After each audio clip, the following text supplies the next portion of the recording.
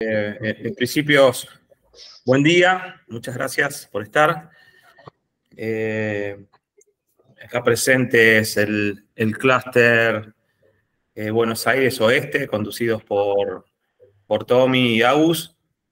bueno, estos productores y socios estratégicos que venimos compartiendo el proceso de, de innovación, ¿no? Es una reunión bastante dirigida solamente a, productores y socios estratégicos, como decía Arthur y Selanger, que están en este proceso, ¿no? un poco, la idea era hacerlo así, cerrada, por, sobre todo por la cuestión del intercambio que queremos generar, ¿no? De, experiencia. Así que bueno, le, cuento un poco la estructura que pensamos, una, una, breve introducción que voy a hacer, lo voy a hacer muy corta porque eh, que le quiero dar mucho tiempo a, sobre todo lo que decía, la ronda de intercambio, me parece muy jugoso lo que se puedan contar entre ustedes, y bueno, con la conducción de Agus, que está ahí en el medio de todo, y, preguntando, para, para, le va a servir a todos, ¿no? Para que ya está hace mucho, para que esté arrancando. Y por último, Eduardo nos va a presentar una perspectiva tecnológica, cómo vamos a seguir avanzando desde el lado de la, sobre todo del lado de las, de las herramientas tecnológicas, ¿no? Así que yo voy avanzando rápido. Eh, ¿qué me pasa, Vic? Por fin.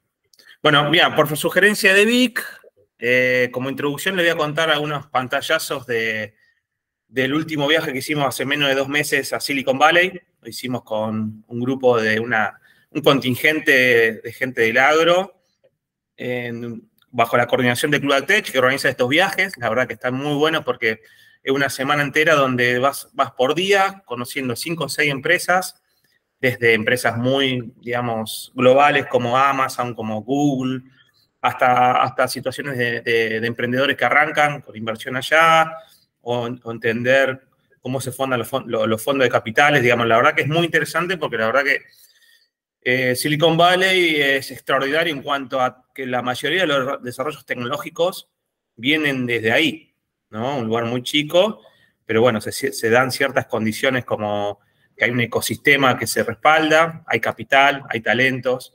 Bueno, se ha generado todo un fenómeno re interesante. Muy bueno para entender qué tendencia que se está viendo. Así que le voy a dar un par de pantallazos. Eh, primer pantallazo, eh, lo que la industria tech piensa del agro. Este es un resumen, una foto, un gráfico que la verdad que dice mucho y la verdad que es una opinión coincidente de, que podemos decir del, del mundo tech en Silicon Valley Ve el agro de esta forma, básicamente un desafío enorme para el 2050, esta curvita la vemos, la conocemos, digamos, de, estar a la altura de alimentar a una mayor cantidad de población. Eh, ellos lo que ven que con la tendencia de hoy eh, es la línea amarilla, digamos, que no va a alcanzar, pero es una tendencia. Ven factores, sobre todo exógenos, como el cambio climático y otras situaciones que que dan una alerta de que puede ser línea roja, eh, pero tiene una gran expectativa que a partir de la agricultura digital, la agricultura de precisión, las mejoras genéticas, eh, el agro esté respondiendo eh, en la línea verde, ¿no? Es un poco la, expectativa, Eso es, algo que, que nos transmitieron en forma general todas las organizaciones, todas las empresas, que es la expectativa que ellos tienen del agro, la genética y la agricultura digital como protagonistas, Dale, Vic. Eh, la otra foto, esta foto eh, otra foto, que, una noticia que también habla de, algo que está pasando.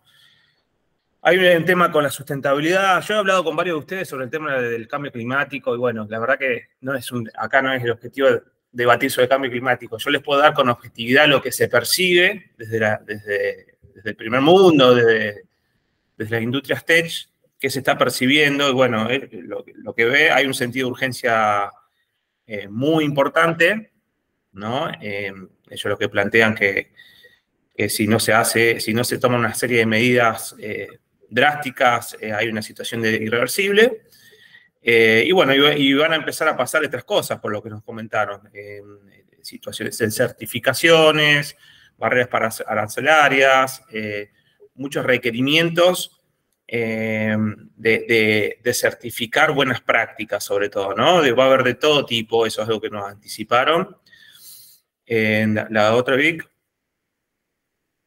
eh, bueno, haciendo así como muy brevemente estas dos cuestiones, ¿no? La, expectativa que tienen respecto a la mejora de la producción, pero a su vez que sean realmente sustentables, ¿no? Vamos a ver esto que les cuento, que muy brevemente eh, nosotros vemos, y por lo que nos comentaron, va a impactar eh, en forma contundente. Primero van a existir barreras e incentivos a, situaciones de, certificar, como le decía antes. Eh, y después la industria tecnológica está apuntando para acá para proveer adelantos mucho más acelerados a los que venimos viendo, ¿no? Entonces, hay iniciativas de Google, de Amazon, eh, de Microsoft, sobre todo con software libres, abiertos, donde empresas como las nuestras la van a aprovechar para integrarlos y ponerlo a disposición. Entonces, algo me parece que está bueno eh, charlarlo porque se van a venir cambios muy importantes, sí, ahí más que la, que viene, por favor. Más que, más que tendencias, vemos esta ola y bueno, le decía, lo importante es entender las implicancias que vamos a tener. Lo decía puntualmente, esto de la, del requerimiento de certificaciones. Eh, y lo que otro, otro tema que es una oportunidad enorme es lo que le decía antes, es como cuando pasa en las guerras que hay de urgencia de desarrollos tecnológicos, bueno, eso es lo que nos dijeron que va a pasar, que estaba pasando en el agro, ¿no? Va a haber muchas organizaciones fuertes que van a apuntar a respaldar todo lo que es la mayor producción y la sustentabilidad. Vamos a ver cambios muy fuertes. Algo que vemos, como pasó en todas las industrias, hay, hay una estadística que es terrible, que dice que en los últimos 20 años desaparecieron el 50% de las empresas y que se, pronostica que para los próximos 5 desaparecerán eh, el 40% próximo. Entonces, son cosas a entender, por eso a nosotros nos gusta la figura de la ola para decir, bueno, no son tendencias, realmente estamos frente a un mundo cambiante y lo que yo le puedo contar de estar allá con estas organizaciones y que hay un discurso uniforme ese sentido es algo que tenemos que esperar, ¿no? Eh, y tenemos que elegir, me parece a mí, que eh, cuál va a ser nuestra respuesta, respuesta empresarial ante nuevos desafíos, ¿no? Certificaciones, demanda de consumidor, eh, situaciones eh, de, eh, situaciones del, mundo en cuanto a la macroeconomía cambiante, digamos, me parece a mí que el contexto empresarial tenemos que verlo como una gran, una gran oportunidad y una gran amenaza, pero tenemos que saber que ya no es como los 80 y los 90, que todo era, íbamos, sabíamos lo que iba a pasar el próximo año, ¿no? Entonces ese es el mensaje que les quiero dar y lo que a mí me transmitieron y lo que venimos viendo ya hace muchos años, por eso estamos en esto, eh, pero bueno, se podrán venir cambios interesantes. El otro tema que le quería comentar, que se habló muchísimo, eh, son este concepto de empresas data driven, ¿no? que son empresas impulsadas por los datos. A ver, el concepto que, no, que nos marcaron es organizaciones que hacen el uso eficiente del dato como eje de sus decisiones. ¿no? Eh, Fíjense, primero, lo, sencilla de entender esta definición. O sea, usan el dato para bajar el margen de error en sus decisiones. Algo intuitivo que lo podemos usar en, el día a día, eh, para cualquier situación. Pero es algo súper intuitivo, pero lo, que vemos y lo que charlamos es que es este tipo de, enfoque empresarial es una competencia mínima para pelear, para competir en el nuevo escenario que hablábamos antes, ¿no? Ya sea en el aro o en cualquier industria, digamos. Ya no se, no, no se puede discutir si vamos a usar o no eh, la información para bajar el margen de error, porque si no, estamos todavía en una situación de basarse en la intuición y, en el sexto sentido, y me parece que hoy no nos va a alcanzar como organización manejarnos de esta forma. Civic, la característica de estas organizaciones, bueno, también muy sencillo de entender, son las empresas que eh, registran, le dan valor a la información, la cuidan, entienden lo que es el valor de la información de calidad, porque una cosa es el dato crudo y otra cosa es el dato de calidad. Eh, analizan esa información, tienen un espacio interdisciplinario entre sus profesionales para que esa información y ese análisis se convierta en conocimiento, eh, y al final del día termina respaldando mejores decisiones y optimizando procesos. ¿no? Eh, esto es lo que es una empresa data-driven. ¿no? Eh, yo se los traigo básicamente por dos cuestiones. Primero, les quería dejar de remarcar, digamos, este desafío empresarial que en estos tiempos quizás es un, a, los, a los líos que ya tenemos con la operatoria diaria, ¿no? a los desafíos que ya tenemos, es como que nuestro em, desafío empresarial es cómo vamos eh, convirtiendo a nuestra empresa en, esta cultura de, darle más importancia a los datos y al respaldo de las decisiones. ¿no? No, es trivial, pero sí se lo quiero dejar como un gran desafío. Y, eh, el otro tema es que, nos, bueno, desde GeoAgro es lo que estamos haciendo de alguna forma con algunos hace 6, 7 años, con algunos hace un año. Ese es este concepto, ¿no? Básicamente, es más allá de la agricultura de precisión, sino es una mirada eh, más integral, holística, de, entender que paso a paso, ahora vamos a ver algunos casos, eh, vamos incorporando esta cultura primero del dato, y vamos, vamos concretamente a, los ejemplos. Primero del dato, de, entender que el, mapa de rinde nos va a servir a entender que tenemos que hacer todo el trabajo con nuestra gente para que ese dato sea de calidad, porque si no de calidad no nos sirve. Que esa información vaya a una Big Data, que es 360, que, que, esté integrada, que pueda integrar otra información, que podamos analizarla, ¿no? En distintas herramientas de análisis, ahora estamos trabajando con una analítica, seguramente aparecerán otras, que podamos tener la capacidad empresarial para que nuestros equipos se reúnan a ese nuevo hábito que es el intercambio y la toma de decisiones respaldada, y que, y que bueno, al final vayamos a campo, operemos, pongamos las prescripciones en la máquina, eh, y después, bueno, garanticemos que eso funcione bien y tengamos la información de vuelta para retroalimentar el sistema. ¿eh? Tan sencillo como eso.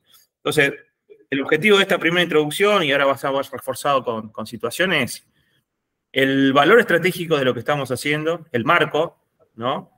Em, como una de las competencias, diría, base de lo, que se viene. Eh, la importancia de, la cultura del dato, porque acá les recuerdo otra cosa, el dato después, esa, big data que estamos alimentando, que está en 360, el dato de calidad, es lo que después me, da, me va a dar la certificación, me va a dar la entrada a nuevos algoritmos y un montón de, de, nuevas eh, herramientas y funcionalidades que se están generando, pero necesitamos tener el dato de calidad primero. Y después, la mirada empresarial para generar el hábito de analizar y tomar decisiones en función de eso. Parece sencillo, pero todos sabemos que ha sido un proceso esto. Y que este proceso estamos en el medio. No que ya terminamos, digamos, esto va a ser eh, un proceso continuo que nos va a dar la satisfacción de cada vez bajar margen de error. La última, Vic, y ya le doy paso al intercambio. Bueno, esto es cómo nosotros planteamos nuestro, nuestro data driven desde GeoAgro que le voy sincero, mientras, eh, mientras estaba escuchando ya tanto hablar en Data Driven en Silicon Valley, yo decía, bueno, es lo que hacemos. Le pusimos un título a lo que hacemos y, me pareció fantástico porque es una visión empresarial, eh, la verdad que muy interesante. Y bueno, nosotros lo planteamos así, digamos, primero nos sentamos con ustedes a entender dónde podemos eh, ayudar mejor en el negocio. Al principio del primer año vamos por algunos procesos, por optimizar unos procesos. El segundo y tercero iremos cada vez con un análisis eh, más profundo. Integramos la información necesaria, garantizamos que es información de calidad, capacitamos a la gente, tratamos de generar ese espacio de decisión de cada 15 días, que al principio he resistido porque nos dicen, che, ¿para qué nos vamos a juntar cada 15 días? Bueno, es para generar el hábito, el nuevo hábito de análisis de la información, tan importante. Una competencia básica de las nuevas organizaciones integrar la información y analizarla. Y a partir de ahí, tomar mejores decisiones, bueno, lo que hablábamos antes, y poder ver la respuesta para seguir un, proceso de aprendizaje. Entonces, le quería dar este marco a, lo que estamos, vamos a charlar ahora, pero sí, bueno, eh, digamos, digamos, rescatarle nuestro compromiso con, con ustedes para que esto siga creciendo. Nosotros hace un tiempo tomamos la decisión de decir, no vamos a ser solamente una plataforma tecnológica, sino que nuestro compromiso y nuestro rol es acompañar a las empresas en la cultura, en la formación de la gente, en el análisis de la información y que esto funcione. Entonces, ha sido también una decisión empresarial nuestra que vimos que el valor pasaba por acá. No solamente ver un mapa o no solamente poner la información en una plataforma, porque con eso no alcanzaba. Entonces, bueno, también hay un compromiso de nuestra parte, hay un compromiso de parte de ustedes y nos parece que el valor que se está generando es relevante y lo que vamos a generar mucho más. Así que bueno, de hasta acá la parte eh, conceptual, digamos, para compartirla, para darle un marco a lo que vamos a charlar ahora, que es lo más importante. Agus, te dejo a para coordinar. Rodo, gracias. Bueno, buen día a los que nos saludamos todavía. Em, la idea un poco acá es ir repasando, nosotros elegimos eh, algunas de, las empresas que ya vienen trabajando, eh, pensando en, casos interesantes que, pasaron de experiencias y, que, también tratando de hacer paralelismo de cosas que le puedan ir sirviendo al resto. ¿eh? Así que en esta parte, el que quiere levantar la mano, levanta la mano, escribir por el chat o abrir el micrófono y, meterse en, la conversación. vamos a charlar con tres empresas eh, bienvenidos y, está esta parte para eso. ¿eh? El, que tiene alguna duda eh, nos avisa y la idea de esto, nada, es mostrar qué están haciendo otros y, de, la mano de, cada uno, que nosotros siempre en las reuniones tratamos de llevar cosas de un lado a otro, pero cuando se las cuentan entre ustedes o las escuchan de, las empresas mismos es muchísimo más valioso.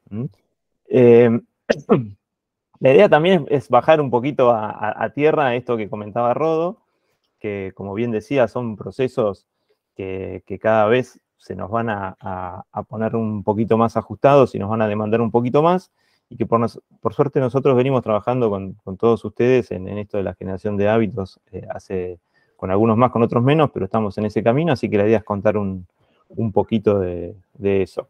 Si les parece, si querés avanzar, Vic, arrancamos con Juan Manuel de, Bernardo Dugan. Eh, a este bloque le pusimos de la agricultura por ambiente hacia el camino digital. Ahora vamos a ver un poquito por qué. Este, así que, bueno, Juan Manuel, buen día. ¿Qué tal? Buen día, ¿cómo andan? ¿Cómo andás? Arrancás primero, así que te, puedes equivocar, todo. Te Bárbaro. Un, plus. Tengo, tengo todas las licencias. sí, eh, bueno. También está Tommy por ahí, que, nada, eh, somos un poco los que vamos llevando estos procesos, así que si, también Tommy querés meterle, metele más. No, no, yo solo saludar que vos siempre sos mucho mejor moderador que yo. no, no. Y confirmar un poco, me gustaba que mientras Rodo hablaba, me imaginaba que muchos, todos los que estamos participando en las reuniones, pensábamos que efectivamente eso que decía Rodo es lo que nos pasando en nuestros, equipos de trabajo, ¿no? Y, la, importancia de, eso que planteaba Rodo, sí o sí, eh, lo tenemos que solucionar trabajando en equipo porque ya está clarísimo que no, son cosas que puede manejar una sola persona en una organización, así que estamos, estamos bien encaminados para, para esta reevolución de los datos, para ponerle un título marketinero viejo. Muy bien. Este, Juan Manuel, ¿querés contarnos un poquito, describirnos eh, la empresa, para ponernos en contexto un, toque, dónde están? Bueno, la empresa está en Lincoln, son alrededor de 14.000 hectáreas, de las cuales la mitad es agricultura y la mitad es ganadería. Eh, la, agricultura la hacemos toda, con maquinaria contratada, así que tenemos la posibilidad de, de elegir los contratistas. Igual son contratistas de años y son contratistas receptivos al, a los pedidos por ir incorporando la tecnología, tuvimos suerte en eso. Tenemos ambientes, estamos, no sé si lo dije, en Lincoln, tenemos desde los Tapto a algunas zonas con médanos, así que un poquito es eso la, la ubicación y, el tipo de empresa que somos. Bien. Eh, eh, hmm. no, ahí por ahí describirnos los primeros años, cómo arrancaron. A eso iba. Arrancamos, bueno, yo en la empresa estoy hace 10, 10 años, cuando vine hacía, habían empezado hacía unos meses, eh, bueno, Tomás y, Agustín habían empezado con, el resto del equipo a, incorporar algunos lotes en agricultura. La demanda vino por el lado de que la empresa, por, iniciativa del dueño, quería conservar un poco el suelo y, una de las premisas era reponer un poco de fósforo con niveles muy bajos. Entonces, cómo poner el fósforo de forma eficiente y ahí surgió el tema de ambientar los lotes incorporaron algún, incorporamos algunos lotes, los más variables por, criterio nuestro, y empezamos a trabajar así con muy buenos resultados. La verdad que eso nos, nos permitió conocer un poco más los lotes y cómo manejar esos ambientes. Y bueno, varios años estuvimos, estuvimos haciendo eso, prescripción más que nada en lo que eran siembras de, de maíz y trigo y fertilizaciones fuertes. Hacíamos muchas fertilizaciones fuertes al voleo, entonces podíamos dirigirlo un poco mejor a, a, irlo levantando. Empezamos a llevar un registro histórico de, de, los análisis de suelos, georreferenciados y demás. Así que bueno, durante varios años trabajamos así, hasta que en un momento, bueno, veíamos que eh, perfecto eso, el análisis de los mapas de rinde y, y las prescripciones, pero notábamos que estábamos en una meseta que no encontrábamos algo nuevo para ir haciendo, hasta que, bueno, en algunas charlas que teníamos con Tomás y, Agustín, surgió lo de 360, la plataforma. Otra cosa que nos pasaba que teníamos la información un poco desordenada, no podíamos, queríamos ver algún dato histórico y teníamos que andar buscando en carpetas que teníamos guardadas y eso no era cómodo. Y bueno, 360 apareció como como algo como para, para reunir toda la información, empezar a manejarlo un poco mejor y ver si podíamos encontrar alguna, alguna vuelta más a la agricultura de precisión. Ahí mm, te corto un cachito. Está bueno esto que, cuenta Juan Manuel, de, que muchas es la situación que nos pasa a veces, de veníamos de una situación de decir, bueno, tenemos que empezar a hacer algo, cuando arrancamos, empezamos con una agricultura por ambientes muy bien hecha, y entramos en un ritmo, después de, charlar con los contratistas y demás, de, que estábamos haciendo las cosas muy bien, ya nos ve, todos sabíamos lo que teníamos que hacer, nos veíamos antes de las prescripciones, eh, generábamos las prescripciones, después no nos veíamos hasta la época de cosecha, cosechábamos, analizábamos los ambientes y entramos en ese ritmo con nada, con, sabíamos que por los resultados y por lo que se veía a campo y, por los números, sabíamos que estábamos haciendo las cosas bien, pero como bien dijo Juan Manuel recién, estábamos como, como en esa meseta del éxito, ¿no? Como que estamos haciendo todo bien y esa sensación de, que no cabe más en ese todo bien. Eh, nosotros ahí empezamos como eh, a percibir de, que eh, empresas que arrancaban con mucho menos antigüedad y mucho menos eficiencia que, ellos, estaban logrando más cosas, ¿no? Entonces, ahí en esto de, ir transmitiendo y ir llevando, medio charlando, dijimos, bueno, si está pasando esto, eh, siempre esa visión de, empresa innovadora, de decir no nos podemos quedar atrás, y bueno, ahí arrancamos, como decía Juan Manuel, a tratar de, solucionar o, de dar ese salto de calidad o de seguir en este camino que estaba, estábamos todos muy bien, pero estábamos ahí quedados, ¿no? Con, esa sensación de no mucho más por hacer. ¿Y ahí qué pasó? bueno, empezamos a trabajar con 360, un poco cuando él decía lo de los 15 días que es medio resistido, por ahí particularmente a mí también, no, nos parecía en la empresa, che, pero cada 15 días y la verdad que eso nos dio una, una gimnasia que, bueno, sabíamos que cada 15 días teníamos la reunión, entonces alguna meta había cada 15 días. Y empezamos a trabajar con 360 y bueno, empezamos a ver cosas, el hecho de tener las imágenes y por ahí algunos compartiendo cada 15 días y después tomamos el hábito de salir a recorrer y bajar un NDBI, salir a recorrer con el NDBI. Estamos mucho en el campo, nosotros eh, estamos exclusivamente para esta firma y, estamos todos los días en uno de los campos, pero igual, así todos salíamos a recorrer con la imagen y si teníamos alguna duda, eh, y recorríamos a un NDBI o hacíamos una zonificación o le pedíamos a Agustín o a Lucía, mira, necesito tal cosa porque estoy viendo algo raro, y enseguida se generaba un, informe y íbamos a recorrer con eso. Yo nos caía una helada o algo, queríamos saber cómo había afectado en cada uno de los campos y eso lo teníamos. Y eso nos, por lo menos le encontramos algo más a algo que veníamos viendo que estaba, como decía Agustín, estático, era para la siembra y para la cosecha y después nos olvidábamos. Y ahora es algo de todos los días. Este, eso hizo que decidiéramos incorporar más hectáreas a, a, ambientar porque teníamos los, lotes que considerábamos mejores y con más variabilidad. Y ahora la filosofía es incorporar todos los lotes que estén en agricultura directamente a agricultura de, por ambientes. Algunos con más o menos variables, pero, pero bueno, todos que estén bajo esa, esa forma de trabajarlos. Bien.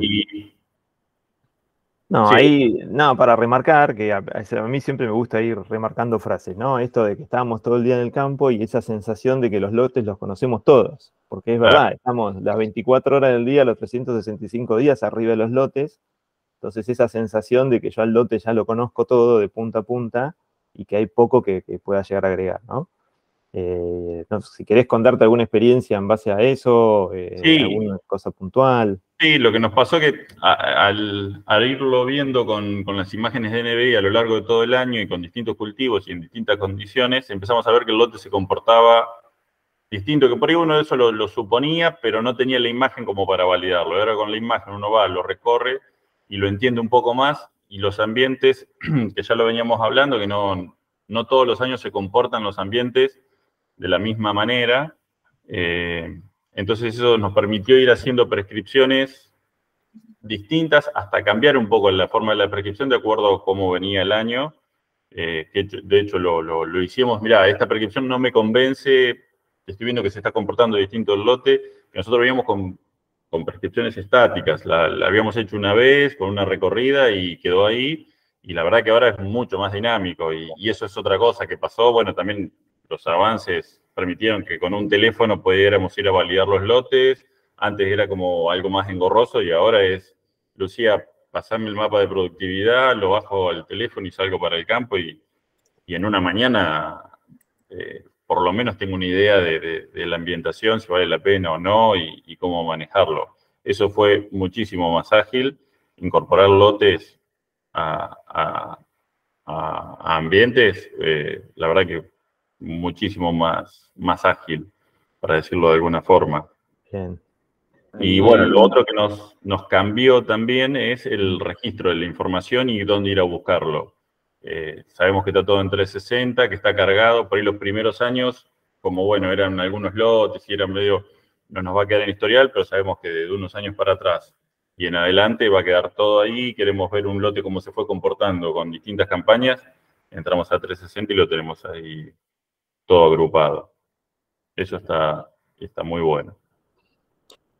Una cosa que, que tiene Juan Manuel y tienen ahí en esa zona es que tienen ese desafío de que los ambientes se pueden comportar muy distintos según qué año les toque, ¿no? Eh, en otras zonas creo que estamos empezando a ver ese, desafío también. Estamos, es un lindo paso porque históricamente venimos en muchos lados con que ya están los ambientes definidos y lo que hay que hacer es agarrar el mapa de ambientes y generar las prescripciones.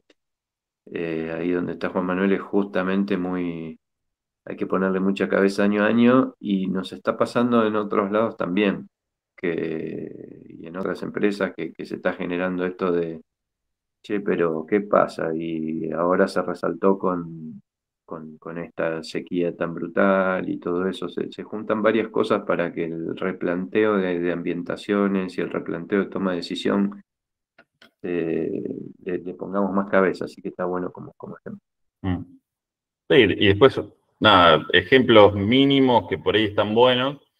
Eh, eh, un año, nosotros tenemos una zona, tenemos zonas de médanos y de, taptos, entonces con una lluvia medio importante ya podemos perder bastante superficie, cosa que nos pasó el año pasado con la lluvia de febrero, y habíamos perdido, pero partes del lotes estaban buenas, entonces, bueno, hicimos una, una prescripción para aplicar, para hacerlo con la máquina era difícil porque era un dibujo difícil y explicarle al aplicador, eh, y bueno, la máquina que iba tenía la posibilidad de meterle una, prescripción y para hacer un fungicida solo en las partes que se valían la pena, lo hicimos como prueba, ¿no? Para ver hasta dónde podíamos, qué podíamos hacer, además de la prescripción de siembra y de fertilización, que era lo que estábamos acostumbrados.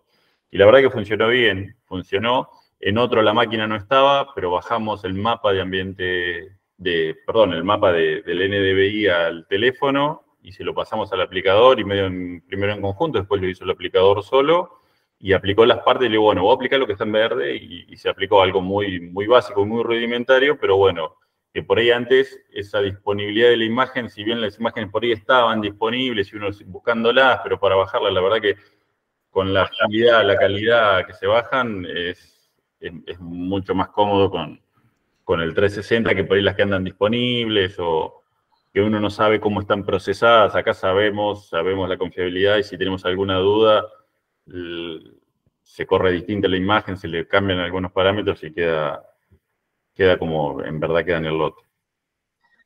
Sí, buenísimo. Yo ahí resalto una cosita, la prueba, ¿no? Eso, eh, el, apoyo que uno, que nosotros tratamos de dar, porque tratamos de impulsar que las empresas hagan cosas nuevas o, que traten de resultarles o algunas pruebitas eh, que, siempre dicen, che, yo tengo esta máquina de esta forma, le vendrá bien, podremos hacerlo con esto y bueno, nada, ahí vamos. Y después mm. si resulta, ya está, es un camino, es una puerta que abriste y es otro proceso en el cual te encaminás.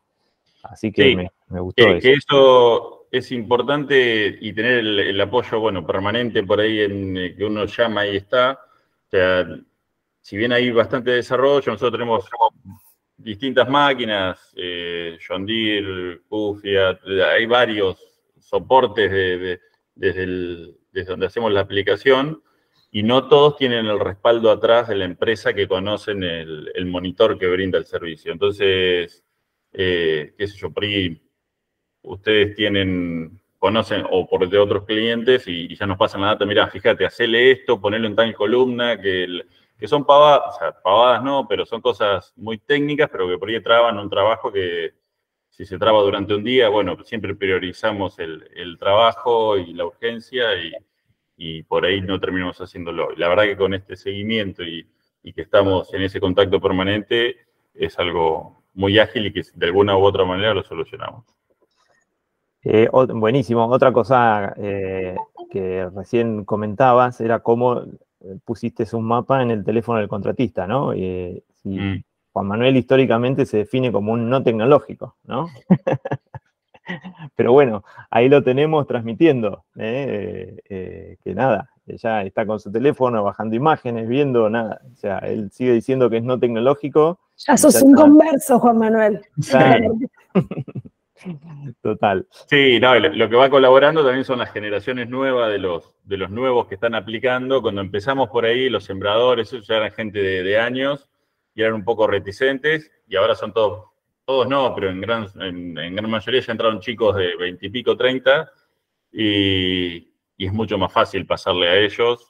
O por ello me subo al cosechador y voy abriendo el mapa de ambiente y mira, este mapa de ambiente es de tal fecha, para que lo vayan viendo y lo vayan internalizando y, y hay una, es como que se entusiasma también, le gusta al tipo que anda arriba de la máquina, eh, ver de dónde viene y uno le explica y, hay que hay como una recepción que es importante porque no es, no, me pusieron esto acá y bueno, si anda, anda y si no anda, eh, no, no, es, la verdad que es, funciona. Ahí una cosita más y ya con esto medio empezando a cerrar. Eh, hace poquito ellos tenían contratistas de toda la vida, que hace dos o tres años cambiaron, creo que casi todos los equipos de contratistas, y pensamos que iba a haber como un bache ahí, y sin embargo, la cosa fue, siguiendo, ¿no? sí, sí, cambiamos en, sí, en tres campos hubo cambios de, contratistas, eh, no en su totalidad, pero, pero sí, y sí, Creo que nos queda una máquina que no está en variable nada más. El resto está todo, todo en variable, pero bueno, es un proceso, también lleva una inversión, entonces algunos contratistas tienen más posibilidades, otros no.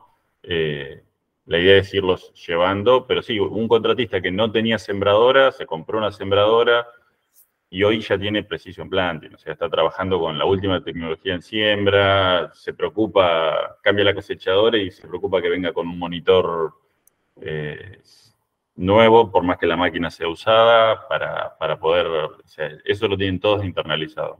Bien. Sí, buenísimo. un cierre final, ¿cómo ven este nuevo desafío? Nosotros a, este bloque le habíamos puesto de agricultura por ambiente hacia el camino digital, porque fíjense cómo mm. la empresa em, empezó con, lo que empieza la gran mayoría, que es haciendo agricultura por ambientes, y hoy cómo se ven en, esto de, lo que se viene, o, contarnos un poquito ahí perspectivas de, de futuro. Sí, la, empresa, bueno, desde la administración y, todo, la, idea es ir eh, em, dando una gestión clara y, sostenida en, bueno, en, lo que se muestra en, los análisis de gestión y demás, pero bueno, también la idea futuro es eh, entrar en algún programa de certificación o algo que, avale lo que estamos haciendo y que lo hacemos bien. Y por ahí, que lo hablábamos con ustedes el otro día en una, una charla que tuvimos, eh, todo lo de 360 nos daría un respaldo de registro de datos para una posible certificación que todavía no tenemos claro cuál va a ser, eh, a través de quién vamos a certificar, porque bueno, hay varias y no nos hemos definido por ninguna, pero bueno, por ahí 360 nos serviría como un registro y un lugar donde tener todos esos datos prolijos y ordenados y poderlos presentar junto con lo otro que nos, nos requiera la certificación, pero bueno, vemos como algo, una base para, para futuras certificaciones. Bien. Eh, bueno, Juan Manuel, buenísimo. No sé si querés agregar algo más. No, por ahora si me olvidé de algo, después... Un 7 te vamos a poner, pero bueno, bastante... no, bien, bien, bien. Muy bueno, la verdad que eh, enriquecedor. Si alguno quiere hacer alguna consulta o alguna pregunta, si no nos vamos directo con el segundo caso. Igual si les queda algo en la cabeza o después se les ocurre, obviamente la idea es ponernos en contacto si hace falta o si alguno eh, quiere investigar más o, preguntar más, después hacemos alguna reunión puntual. ¿eh? Pero nada, eso obviamente ténganlo en cuenta. Gracias, Juan Manuel. Gracias a ustedes. Nos vamos desde Lincoln hacia, hacia el oeste, Pampeano ahí con, la Julia, Pampeano no, bonaerense, cerquito de La Pampa. Eh, Juan Palazzo, de la Julia, ¿andás por ahí? ¿Qué tal? ¿Cómo les va? ¿Qué hace Juan? Buen día, ¿cómo andás? Buen día, todo bien, todo bien. Bueno, che, ¿querés contarnos, ponernos en contexto un poquito? La empresa, ¿dónde están? Bueno, yo eh, hace seis años que estoy en esta empresa. Em, la firma es de la familia Mayorga. Son eh, tres campos más algunos alquilados, un total de 5.500 hectáreas. Em, está ubicado el campo principal, que es La Julia, está en la ruta 85, cerca de, de un pueblito del partido de Tres Lomas. Estamos a 20-30 kilómetros del límite con La Pampa. Eh, y es una zona bastante arenosa, mm, eh, con, una diferencia de relieve muy alta. Eh, hay lomas de 85-90% arena, con casi nada de materia orgánica, y bajos, eh, que son las partes buenas, por lo menos lo eran hasta hace, hasta hace un tiempo. Así que ese relieve, ese, ambiente, ya ahí nos da un, un paso para, para el tema de la agricultura. Eh, hacemos soja, maíz, trigo, eh, cebada, centeno, avena. Eh, hace unos años incorporamos vicia, girasol, no sé si lo dije, girasol es, uno de los principales. Y como hay dos tambos en la empresa, también hacemos verdeos, pasturas, maíz para silo, obviamente, hemos hecho algunos sorgos. Es bastante variado todo. Mm. Eh, bueno, mm, cada, cada unidad tiene su encargado. Yo estoy como encargado de agricultura, pero comparto mucho con los encargados tanto del tambo como de maquinaria, obviamente. La maquinaria tenemos bastante propio, eh, las sembradoras, parte de la fertilización. Eh, tenemos algo de desparramado de fluentes y bueno, y algunas otras labores más son propias todas las máquinas que tenemos son variables. Eh, eso de a poquito fue cambiando, pero hoy en día son todas variables. Y em, posiblemente estamos ahí en, proyecto de, hacer algo de ganadería también, que esta zona era una zona muy ganadera, después medio que se dejó. Y bueno, la idea es, es poder arrancar donde se pueda, vamos a arrancar. Em, una, una, de las labores que, es muy importante, que es la pulverizada, si bien no es propia la máquina, es, casi propia. uno de los contratistas está fijo en, acá en la Julia, así que eso también es importante.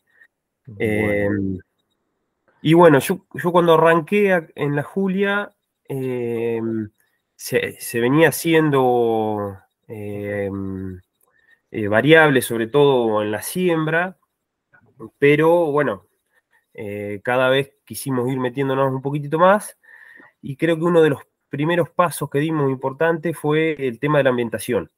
Em, había algo de ambientación, pero sería alrededor del 10% de la superficie.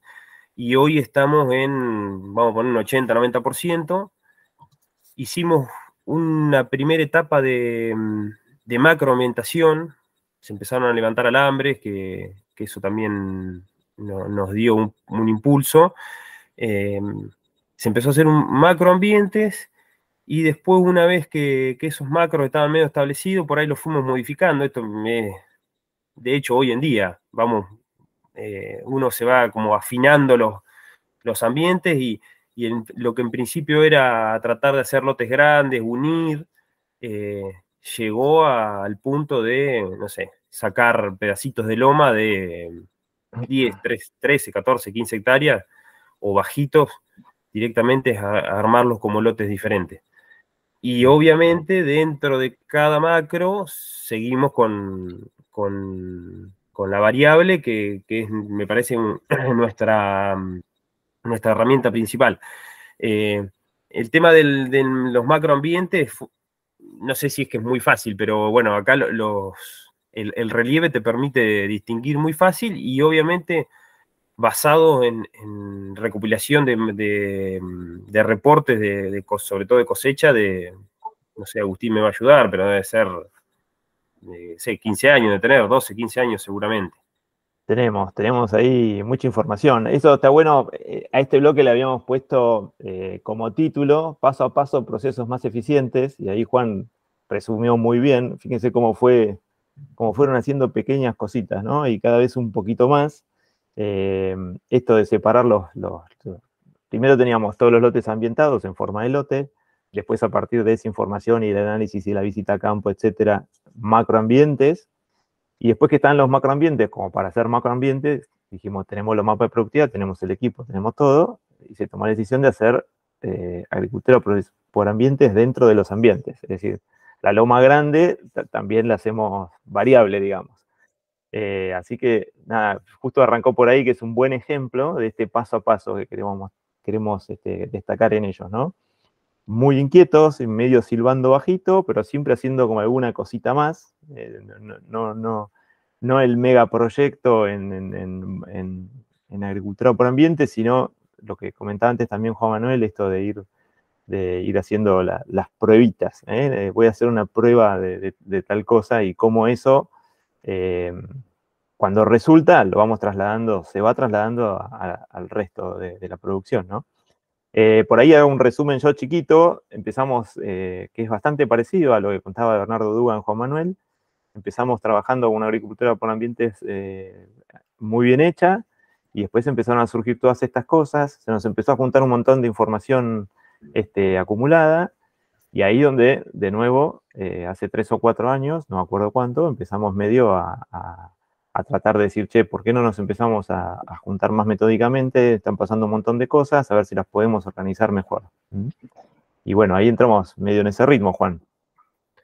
Sí, eh, la, verdad que, mm, que eh, lo que dice Agustín es cierto. Uno no se da cuenta porque mm, es como, como le vas agarrando la mano, ya está todo tan aceitado que después hacer, no sé, lo que yo decía, armar un lote de, de 10, 12 hectáreas y sacar un, ambiente que es distinto al resto, ya no te es trabajo. Capaz que si lo tenés que hacer desde el inicio y decís, y la verdad que es, es una hinchada, pero de esta manera es como que uno no se va dando cuenta. Y después, bueno, el tema de, así como los ambientes van de la mano de, la siembra y la fertilizada variable, que, que hoy en día tanto la maquinaria eh, y, el sistema de, prescripción y demás está todo muy aceitado, no es, una labor pesada armar todo eso, ya sale medio por en piloto automático. Eh, y no sé, sobre todo, por ejemplo, ahora una de las máquinas tiene precisión planting, ojalá tuviesen todas, eh, más fácil todavía. Eh, todas esas cosas, la verdad que te, alivian. Vos, en eso descansás que está más o menos todo funcionando bien. Em, y después el otro tema que, que, recalcaban en la otra reunión, con la otra exposición, el tema de las reuniones nosotros hacemos una vez por semana. Todos los lunes nos juntamos, Tomás, Agustín, eh, el dueño del campo, que es el administrador, y yo. Y la verdad que, mm, esa gimnasia te da, te da una tranquilidad de que por ahí hay veces que son más pesadas, otras veces son más livianitas, pero hacemos una recorrida del campo por las imágenes, vemos qué temas importantes eh, hay, qué decisiones hay que tomar. Y esto se hace tan fluido, tan dinámico que hoy en día el tema de hacer una prescripción, de, un reporte, eh, de ver las imágenes, es como que sale muy, muy fácil. Eh, usamos la app también, sobre todo mm, la uso yo si bien no le doy, no es que estoy todo el día con el teléfono, pero es una herramienta muy importante para, no sé, armamos un, reporte de algo en particular y lo, vamos a ver al campo eh, en el momento. Eh, también nosotros tenemos muy buena conectividad de internet en el campo, que eso es fundamental, porque antes era más o menos y, la verdad que era un, cordio. Hoy en día eso funciona muy bien. Eh, y sale al toque, es, muy ágil. Tal es así que una de las últimas cosas que incorporamos eh, es la, llegamos a hacer pulverizada variable eh, hace 3-4 campañas y, y también eh, ayudado en las imágenes, la verdad que, es algo, es un paso que en otro momento hubiese sido medio difícil, pero que hoy en día sale muy, muy sencillo. Y y lo, todo esto está apoyado en, el personal. Yo creo que, mm, que, si no tenés gente que, por ahí quiere hacerlo o que está eh, permeable a todos estos cambios, es, muy difícil. Siempre tenés, cuando arrancás con estas cosas, tenés reticencia.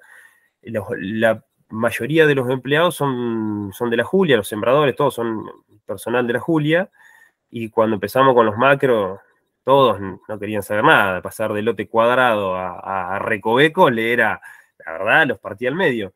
Pero la verdad que ayudaban en la, tecnología, qué sé yo, hoy la máquina de compresión plant tiene, corte surco por surco, no, eh, no sé, piloto, tienen todas las, todas las tecnologías que se pueda tener, es lo mismo. Una vez que se acostumbran, no reniegan más, hoy en día eh, saben que, tienen lotes más grandes, que van a andar más tranquilos, lotes más chiquititos, con más recovecos, así que por ese lado no, hay problema y qué sé yo, en la pulverizada variable eh, logramos hacer un sistema que, le lleva casi menos trabajo que si tiene una pulverizada común. Entonces, todas esas cositas eh, ayudan a por ahí cosas nuevas que surgen, las puedas ir tomando. Bien. Em, Juan, un poquito, ¿cómo ves? Recién nombrabas al personal y eso, ¿qué, hábitos nuevos eh, vos notás dentro del equipo? ¿Cómo, ¿Cómo, ves a nivel personas dentro con todo esto eh, que hace cuatro o cinco años no se hacía y hoy están todos subidos a, esto? ¿Cómo lo vivieron? Eh, ¿Qué cosas sentís que sirvieron? Contanos un poquito eso. Mira, el, por ejemplo, el encargado de, maquinaria ya venía de antes que yo entre y era, era, mm, era uno de los, de los tractoristas. Después otro de, mm, los maquinistas también viene de antes. Y, mm, llega el caso que hoy, por ejemplo, van a arrancar un lote, yo le doy la orden de, trabajo y, y, lo primero que te pregunta, ¿y la prescripción? Eh, ellos ya lo tienen, ya lo tienen metido. Les parece raro que un lote no lleve prescripción. Y, y lo mismo cuando pasa algo con de los ambientes. Eh, la verdad que ellos lo tienen ya internalizado. Nosotros tenemos bastantes reuniones. Eh, otra cosa muy importante es que antes nosotros, qué sé hacíamos una variable y en los reportes y la juntada de ver cómo salió todo, se veía no sé, sembrábamos la gruesa y capaz que lo veíamos al final de la gruesa o a mitad del otro año o antes de arrancar la siguiente campaña. Hoy en día casi que, eso también sale rapidísimo, entonces los, reportes los podemos ver casi, sí, están saliendo muy, muy rápido y, ellos mismos me preguntan, fíjate que, no sé, en tal lugar me parece que, no sé, se cortó la señal o, o algo por el estilo. Y eso te das cuenta que están metidos y que les, les interesa y que eh, que vos podés seguir pidiéndole cosas que, lo van a aceptar. Está bueno, eso nosotros siempre remarcamos, una de las cosas que siempre le mostramos en todas las presentaciones, siempre en algún renglón aparece jerarquización del equipo de trabajo. Y eso es un poco lo, que tratamos de, hacer y, cómo entre todos, entre, todos los equipos se va generando, ¿no? Y es importantísimo y a veces son cosas que, pasan, o sea, en el día a día y uno le resta valor, ¿no? Entonces, que un contratista que antes eh, no tenía ni idea de lo que era una prescripción, hoy te le esté pidiendo, te estén pidiendo los reportes, los estén mirando, los estén interpretando. Entonces, está bueno hacer ese ejercicio de decir, che, ¿cómo estaba la empresa hace dos o tres años? ¿Cómo estamos hoy? Y también cómo queremos estar dentro de tres o cuatro años adelante, ¿no? Eh, esos, esos idas y vueltas eh, de, darle valor a esas pequeñas cosas que se van logrando, que son un montón. Y bueno, ya que hablamos de futuro, Juan, cerrando, ¿cómo te lo imaginás? ¿Cómo lo ves? Em, yo creo que, desafíos. Sí, tenemos muchísimo para afinar. Esto se, todos los días vas descubriendo cositas que podés ir mejorando. Eh, por ahí hay que volver para atrás, nos ha pasado de tema tanto ambientaciones o prescripciones, lo que sea, que a veces no sale como uno piensa y hay que, volver para atrás y no desanimarse. Eh, la idea mía es siempre seguir adoptando tecnología. Hay tantas cosas que a veces uno no sabe qué es lo que, lo que sirve o qué no, pero siempre hay gente que está para, para apoyar y sabe, mucho de tecnología y, nos va guiando. Eh, y una cosa importante es que, mm, bueno, yo tengo 38 años, eh, si bien ah, trato de adoptar toda la tecnología que puedo, no soy una persona hipertecnológica. Eh, de hecho, tuve que hacer hace poquito una inversión de un teléfono un poco mejor porque el que tenía era, era ya medio obsoleto. implica una forma de de trabajar, de cambio de forma de mm. trabajar. Mm. Eh, yo por ahí salí un poco tanto de, encima de los lotes de la maquinaria y pasé un poquitito más al análisis de la información, a, chequear cosas puntuales. Eh, no es que vas a trabajar ni más ni menos, sino distinto. Mm. Eh, me parece que viene por ahí el tema. Está buenísima. Perdona, Dale, dale. Con, mi poquita voz, eh, quiero destacar eh, cómo en todo lo que decís encuadra perfectamente el concepto de data driven, digamos, el compromiso con el dato. A ver, vos como ingeniero mutado en, el rol de estar arriba de la máquina, estar analizando datos, todo es re coherente con ese concepto que nos planteaba Rodo, del cual se habla en Silicon Valley. Así que felicitaciones. Bueno, gracias. Sí, no te, esperaba, Juan, ser un data driven, ¿eh? eh que me, parece que falta bastante cosa por afinar, pero mm, no, pero eh, a mí me costó porque yo soy muy, es más, me, gusta estar arriba, qué sé yo, arriba la sembradora, arriba. Y, mm, por ejemplo, con el tema de la pulverizada variable, eh, me, di cuenta que era más importante analizar la imagen, tratar de hacer la prescripción, pasársela que estar encima de cosas. Entonces, eh, me parece que viene, viene por ese lado. No, no vas a hacer menos, menos eficiente el trabajo por, por no estar encima, sino que es otra manera de, mirarlo. Bien. Bueno, Juan, buenísimo. La verdad, impecable.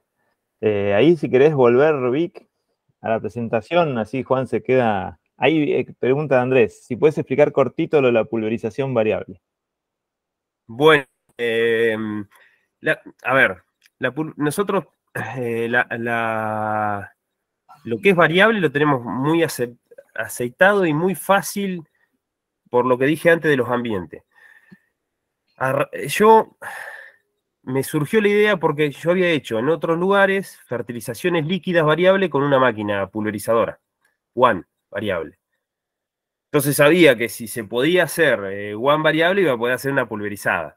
Lo empezamos a charlar con Agustín, a ver qué se podía hacer, eh, hasta que dijimos vamos a probar.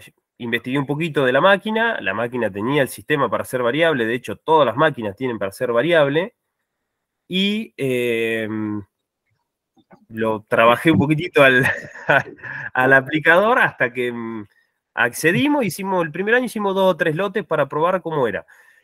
Hay dos formas, una, porque en, el fondo es una prescripción. Entonces hay dos maneras. Una es con un informe y, de, por ejemplo, de NDVI, de lo que uno quiera, de una imagen, o eh, que también lo hemos hecho por altimetría de una máquina, no me acuerdo ya si hicimos por una de cosecha o de precision planting, no importa, por un mapa de altimetría. Eh, obviamente, con el informe ese tenés que ir al campo a chequear, una vez que te le agarras la mano y sabes la época y cómo están las malezas y demás, es mucho más ágil.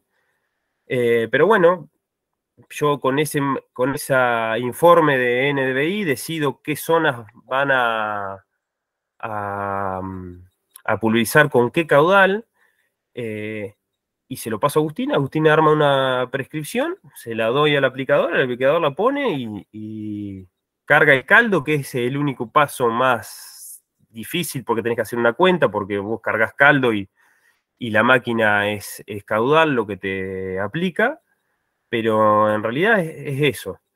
Em, no tiene mucha más ciencia.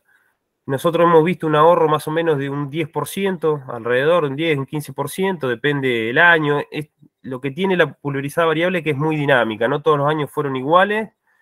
Em, hemos tenido años que hemos hecho casi 2.000 hectáreas y otros que hemos hecho muy poco porque depende del, del flujo de maleza. El año pasado hicimos algunas pulverizadas variables con cultivos eh, nacidos y con preemergentes, que no lo veníamos haciendo, era solamente barbecho.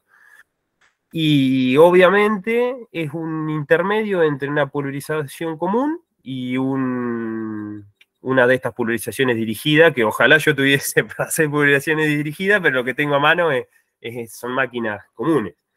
Mm. Em, está bueno, es una cosa más, una herramienta más, eh, no es tanto trabajo, si me decía, entre, una, hacer la orden de una pulverizada normal, que vos vas al lote, lo recorres, decidís los productos y le das la orden al aplicador, esto es casi lo mismo, es, muy similar, no, no lleva mucho más trabajo. Ahí por ahí, mira, justo habíamos eh, preparado con este informe, y ahora Andrés te doy el micrófono por si querés. Ah, ahí fue el gracias. Eh, justo lo habíamos preparado para bajarlo un poco a tierra, lo del data driven. Eh, ahí pusimos procesos en la Julia en modo data driven y habíamos armado este justo como ejemplo. Ahí, que por ahí también ayuda a, clarificar. Ahí tenemos datos relevantes, el mapa de índice verde. Esto es, un, es, real, eh, o sea, de, un caso de la Julia. Después que hicimos con el informe de zonificación, zonificamos por NNBI, que es el mapita ese que ven ahí. Con respecto a los nuevos conocimientos, te da la proporción de, malezas que tenés exactamente en el lote y, cuánta superficie tenés de cada cosa. Mejor toma de decisiones, hicimos la prescripción, que ahí está la prescripción que, contaba Juan. Eh, creo que el caudal está muy chiquito, pero creo que es 30 y 40. Ahí por un tema de, limitaciones de la máquina siempre es un poquito de reducción de, sobre el caudal que vas a aplicar. Y en este caso, optimización de procesos, en este caso este lote había dado 18% de ahorro, como ponemos ahí, en un solo lote. ¿eh? Eh, después hay lotes que se ahorra más, hay lotes que se ahorra menos, hay lotes que nada más se tira sobre una parte y sobre la otra parte no se tira nada, entonces ahí el ahorro es, gigante. Y bueno, nada, justo lo habíamos puesto como, ejemplo de, bajar un poco a tierra de, esto de los procesos en, modo data driven. Bueno, Juan, buenísimo. Eh, no sé si alguno tiene alguna pregunta más. Y si no, nos vamos para el último caso. Nos vamos desde la zona de Pellegrini, ruta 5. Muy bueno, Muy bueno, sí. Eh, Alberti, la zona del Quedero Klein. Eh, este bloque lo llamamos tablero de datos y backstage de tecnologías más personas ahí lo que, lo, que, lo que vamos a hacer ahora, que ahora vamos a presentarle al equipo de, de Quedero Klein que nos va a contar un poquito ahora, vamos a spoilear un poco esto, vamos a, mostrarles sobre qué es lo que vamos a hablar. Eh, si querés, Vic, pasá a la, que viene. Ahí lo que les vamos a mostrar es, eh, este es el resultado final de un trabajo que se viene haciendo hace varios años, vamos a contar el backstage de este trabajo, cómo se llega hoy a esto. Eh, es un análisis de datos que tiene datos de planillas de, rinde por lote, de rinde por ambiente, em, de extracciones de nutrientes y de reposición de nutrientes con análisis de laboratorio. Información que tiene más o menos entre, podemos decir, 10 años, así medio para redondear. Entonces, el informe tiene diferentes instancias, yo se las voy a mostrar medio rápido, la idea no es ponernos a analizar ni ver los números ni nada, sino que vean la conformación y, cómo todo ese caudal de información que dije, que son tres o cuatro planillas que andan dando vueltas, están unidas acá. La primera instancia es el, tablero va de lo macro a, lo más chiquito, a lo micro. ¿eh? Entonces, lo primero nos sirve para analizar las campañas, si ven el grafiquito ahí abajo, arranca en el 2009 y termina en el 2022, que es el año que tenemos habilitado hasta, hasta donde tenemos cargada información. Todavía no cerramos la, carga de información de este año. Eh, tenemos nada más lo de FINA. Si querés, vi que avanza un cachito. Esta es otra instancia del tablero, donde acá en vez de analizar por lotes, hacemos un análisis por ambientes, y ahí si ven ese grupo de, cuatro establecimientos, hacemos un análisis por establecimientos de los rendimientos históricos. Eh, si querés, avanza Vic. La idea, o sea, después lo vamos a ver funcionando, ¿no? Para que vean que esto no, no, es eh, mentira, que lo estamos haciendo. Pero después tenemos ese mismo análisis, en lugar de hacerlo por campo, lo podemos ver por lote. Fíjense que ahí uno puede filtrar por, por campaña, por establecimiento, por cultivo si querés avanzar, Vic. Hay un montón de, también datos estadísticos que, el tablero va calculando por sí solo, entonces está bueno ponerlos. Y acá ya nos pusimos en, combinación con algunas otras cosas. Hacemos el cálculo de extracción de nutrientes. De nuevo, uno puede filtrar por campaña, por cultivo, por establecimiento, por lo que quiera. Si querés darle uno más, Vic. Son diferentes instancias, ¿no? O sea, cada uno es un tablero en sí que forma un gran tablero.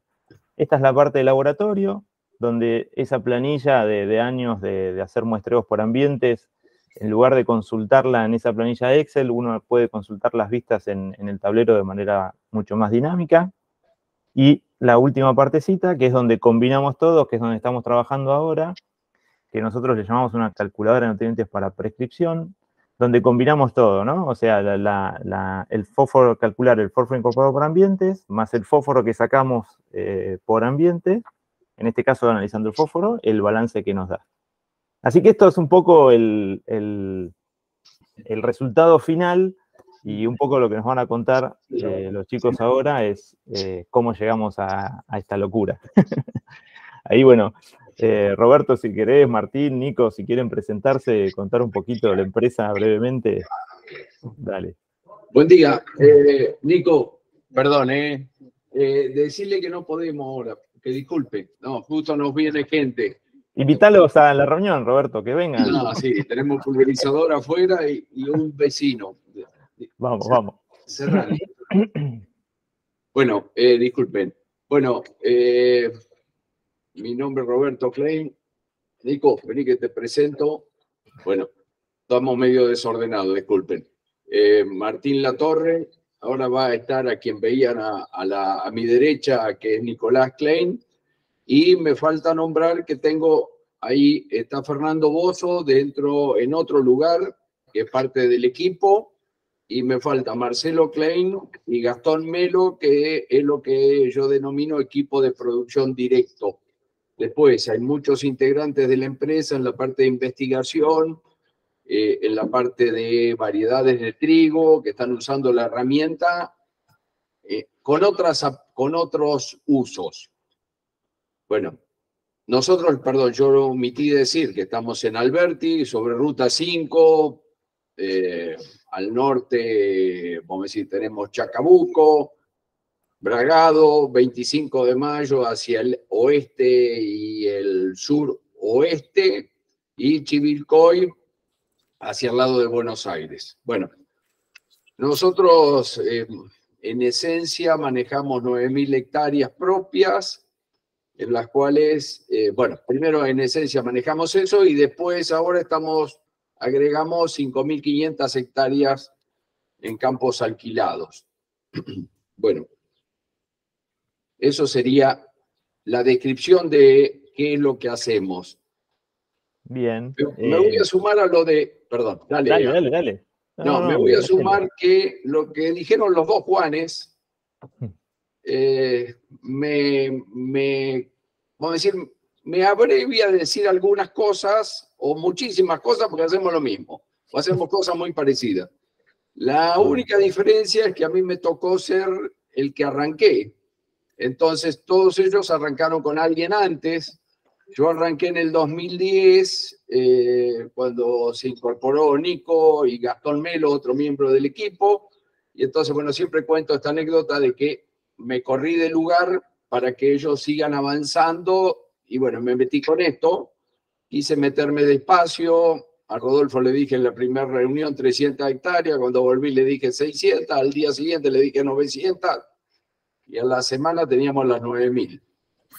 Bueno, eh, empezamos con el Lanza, resolución 30 metros por 30 metros y bueno, fuimos evolucionando con nuestro mapa de prescripción, eh, perdón, nuestro mapa de productividad de allí hacer todo lo que hicieron todos los anteriores en la evolución, primero preocupados de los ambientes, eh, revisar los ambientes por los rendimientos, teníamos datos ya del 2005, si mal no recuerdo. Eh, bueno, con todos esos fuimos retocando siempre los mapas de productividad, ajustarlos un poquito más y en el 2020 ya con Sentinel revisamos todo, 2020, 21 y 22, eh, revisamos todo nuestro mapa de productividad, haciendo caso omiso a los alambrados, que es algo que a mí puntualmente me molesta mucho porque todos los mapas de productividad tenían problemas en las orillas. Pero no, no quiero ir a los detalles, sino quiero ir a la macro. Eh, cuando empiezo con esto, yo descubro algo totalmente distinto primero, desde mi oficina yo podía ver cosas que nunca vi en mi vida, que eh, hay una frase, quienes me conocen y se van a reír, que yo insistía mucho en ir a la trinchera. O sea, imaginen que las validaciones en el 2010 las hice personalmente todas con la camioneta, 9.000 hectáreas, recorriendo con la camioneta de 300 hectáreas por día. O sea, un dinosaurio, diría alguien. Porque hoy, eh, sí, Rey, de Rodolfo, te veo, pero bueno, pero está bueno contarlo como, como anécdota. Eh, como digo ahora, en aquel momento me subí a un barco que me asustó enormemente. Me costó mucho trabajo llevar el barco, mantenerlo a flote. Y eh, instalé en el equipo una frase que es subamos la gente al barco. Y Tomás, Agustín, y Rodolfo saben perfectamente que en un momento estuve a punto de claudicar porque no podía subir a la gente al barco. Gente al barco quiere decir que todo el equipo se ponga la camiseta de que esto es lo que sirve para generar datos ciertos, confiables y exactos.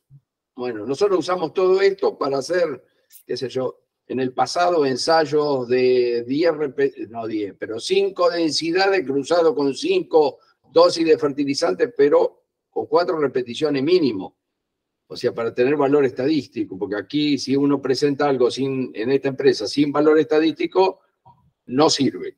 Bueno, no me quiero demorar, pero en ese arranque fue que tomamos coraje con las 9.000 hectáreas para después en el 2014 alquilamos, y me lo anoté recién para darle un dato exacto, 1.400 hectáreas y empezamos a ambientar campos alquilados, porque me dio una ventaja competitiva enorme frente a que no lo hacían porque en la empresa no se entendía que el ahorro de las ambientaciones viene por los ambientes muy malos y la ventaja competitiva viene por los ambientes muy buenos, donde uno puede invertir y en el otro puede ahorrar. El concepto mío es Invertir donde se puede y donde el campo da.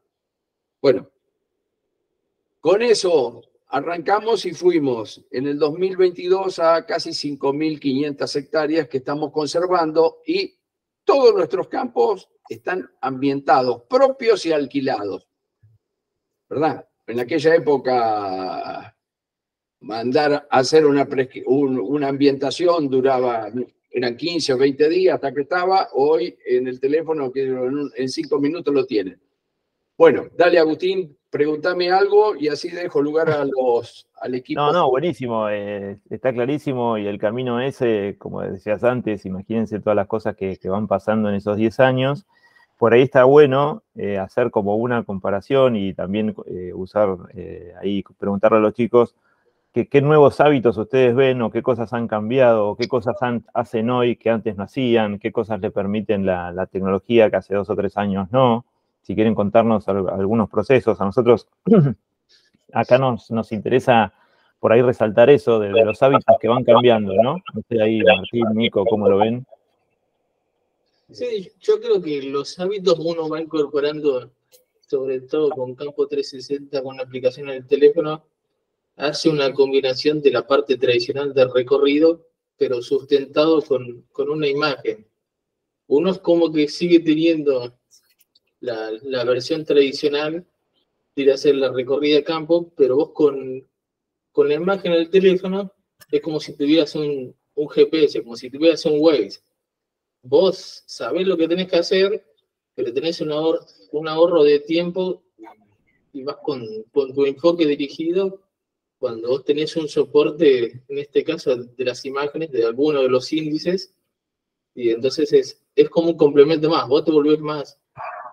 Vas a mirar lo que tenés que mirar y cuando vas al lote al campo no te perdés un rato inicial buscando dónde, dónde querés apuntar. Nico, contales lo de la cosecha, por ejemplo. La cosecha en nuestra zona.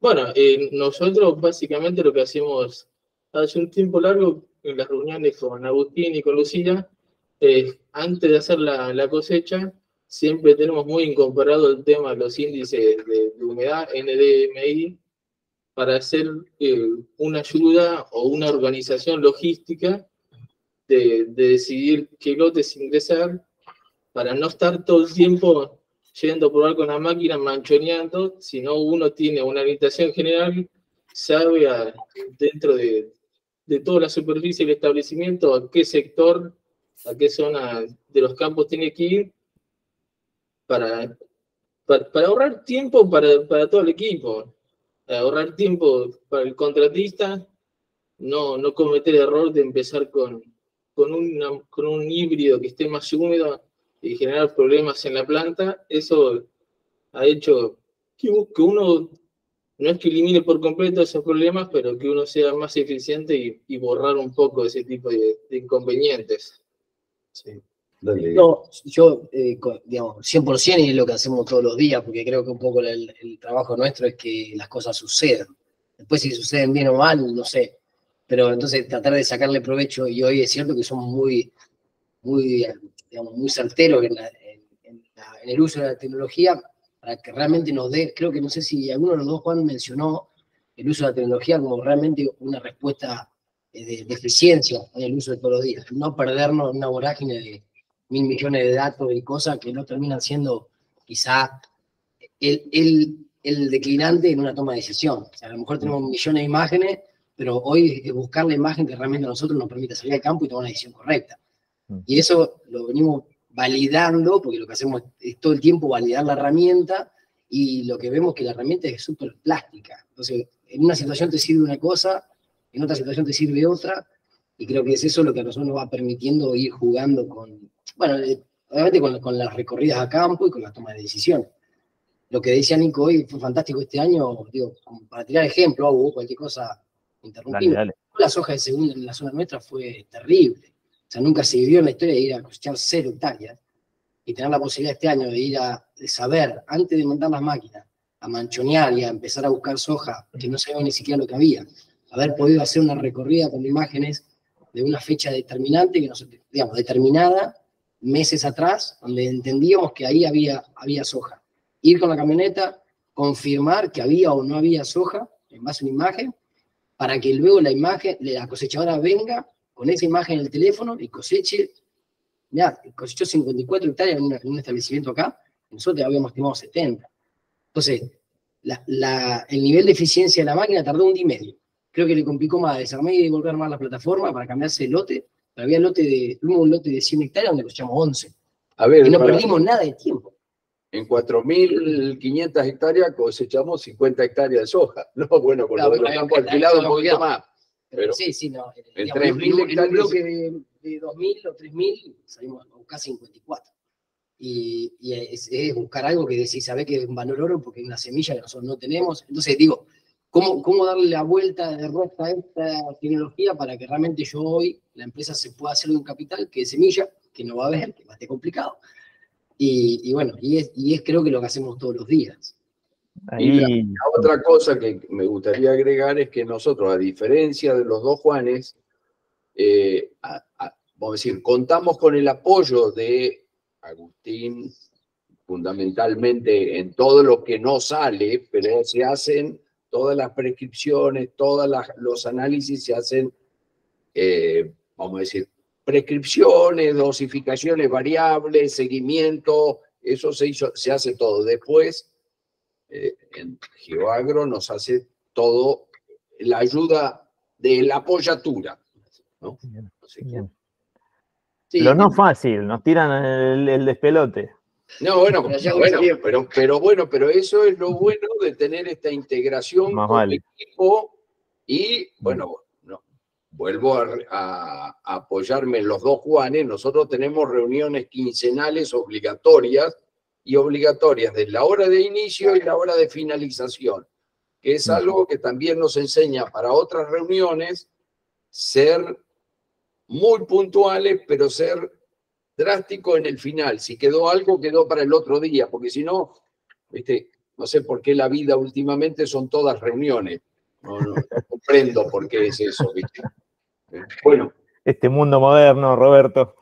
Eh, bueno, vos ya, Agustín, porque si no. No, es... buenísimo. Ahí eh, resumo con estas dos cositas, eh, que los ejemplos que los junto con lo de Rodo, esto de, pasar, de, de, que el dato le vaya ganando a la intuición, que Nico contaba cómo van mejores a los lotes, y Martín cómo, cómo fueron definiendo la, la, las cosechas ahora.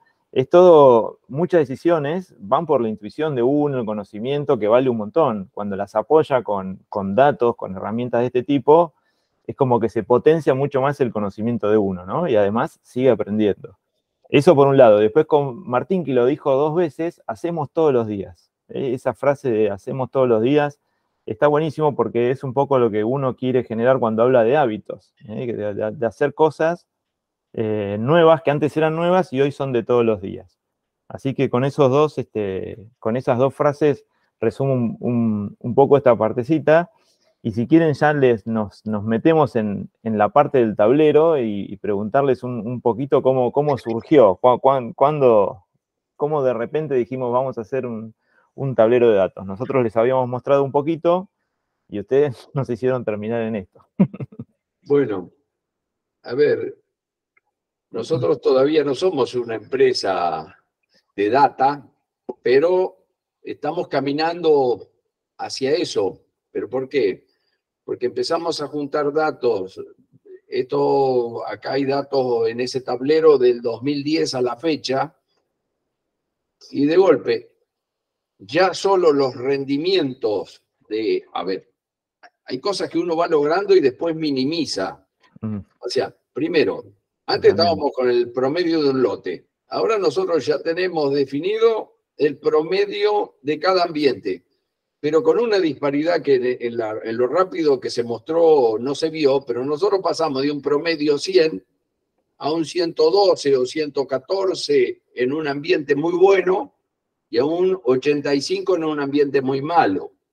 Entonces, eso nos da un potencial y nos abre la cabeza de que todavía tenemos que empezar a mirar con más detalle los ambientes mejores, porque son los que nos dan el, posible y siguiente escaloncito me está pasando como Victoria, me voy a quedar ronco. Bueno, pero una vez que uno tiene todos los datos, el objetivo de este año fue decir, che, yo sé que eh, exporté tantos kilos de maíz, trigo, soja de cada ambiente y cada lugar y cada año. Y venimos hace 20 años trabajando en levantar el fósforo de, la empresa, a costa de los ingresos de los socios, a quienes agradezco, Y eh, llegamos a un valor que estamos muy alto, ya hace varios años que venimos manejando, mantener tan solo. Entonces, tener una prescripción automática que cuando yo coseche no tenga que ir a muestrear los suelos para saber en dónde estoy parado, es el objetivo que yo le planteé a GeoAgro este año. Mm. O sea, ese es el objetivo a lograr y objetivo sí o sí a cumplir en este año. Tiene que terminar funcionando porque es recontra importante. Y, y, que, vamos a decir, si hay alguien que sabe de fertilidad, eh, congreso en el que estuvimos la semana pasada, los tres que están viendo ustedes aquí, eh, me matarían si yo digo que no quiero hacer los análisis de suelo. Yo quiero hacer los análisis de suelo después para saber que eh, voy a encontrar lo que yo espero encontrar. No mm. sé si se entiende. Quiero validar todo el proceso sabiendo que me llevé tantos kilos de cada elemento. Todavía no sabemos qué, bueno, sí, lo sabemos, elementos fijos como el zinc sabemos, estamos trabajando con otros que no sabemos. Mm. Eh, nosotros, de, bueno, no, me quiero detener porque tuvimos que hacer autopsia de granos y cosas así para, para ver para dónde iba. Ayer consulté a, a uno de mis maestros, que Fernando García, a ver qué variabilidad de las autopsias, de grano podía tener. Bueno, pero ahí me disperso otra vez. La idea es volver a generar datos concretos con los datos concretos que tenemos. ¿no? no, sé, si te parece un resumen. Y si ustedes como no, no, está muy bien. Yo ahí eh, lo, que, lo que cuento un poquito de backstage eh, y en esto de cómo nosotros tratamos de trabajar, como dijo Roberto, eh, fue como algo que, se decidió, lo fuimos charlando en la reunión, se fue madurando, lo maduraron ellos internamente y terminaron diciendo, che, esto es muy importante que pase este año, lo vemos que están maduros un montón de herramientas, este tablero nos puede llegar a organizar y a servir, entonces tratemos de ponerle foco en eso. Le pusimos foco, revisamos con Lucía, que es la que va llevando el proyecto por parte del equipo de XP de GeoAgro, y dijimos, bueno, esto arrancó en marzo, lo pusimos como objetivo, en esto de que nosotros siempre laburamos por objetivos y metas y demás. Em, y en las reuniones, cada dos por tres íbamos revisando algunos avances del tablero.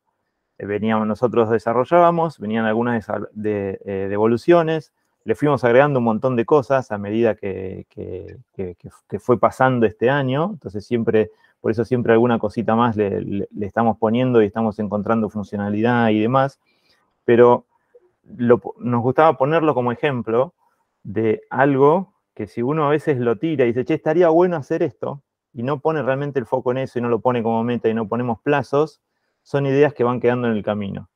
Entonces, esto de, cómo todo el equipo, eh, esto demanda un montón de, laburo de análisis por parte del equipo del criadero y demanda un montón de, laburo de nosotros, de, filtrar la información que nos sirve.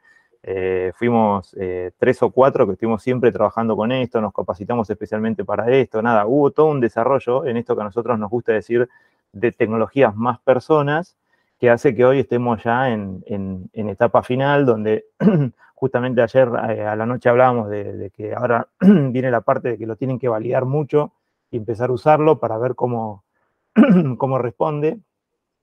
Pero esperen que vamos con agua. Estamos todos iguales.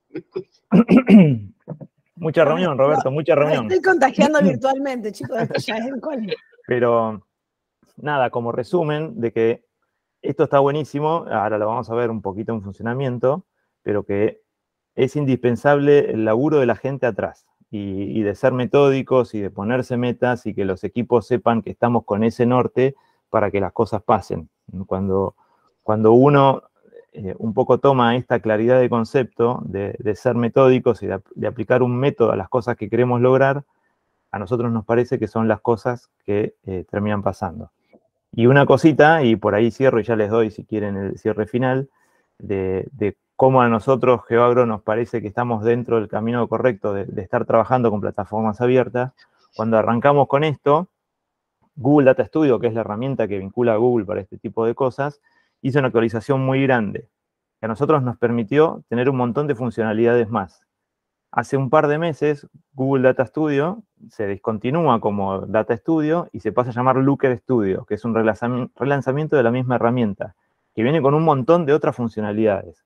Y a nosotros nos permitió eh, otro tipo de análisis.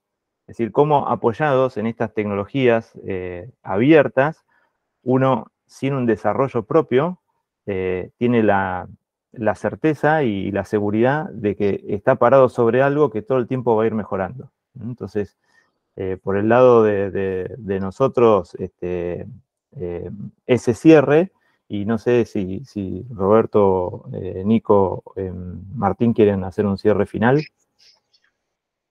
No, bueno, tomo, pero creo que hay, una cuestión ahí de visión, misión, ¿no? Es decir, porque esto, esto es de validar lo que tenés todo el tiempo y tratar de proponerte ideas nuevas o buscar en, qué lugar de la empresa te puede ayudar la tecnología. Y creo que esto que Roberto viene planteando, de un tablero de, control o un tablero de gestión, en este caso para la nutrición, a nosotros nos permite seguir trabajando con lo que tenéis y, siempre tenés como un cebo adelante, por lo menos nosotros, ¿no?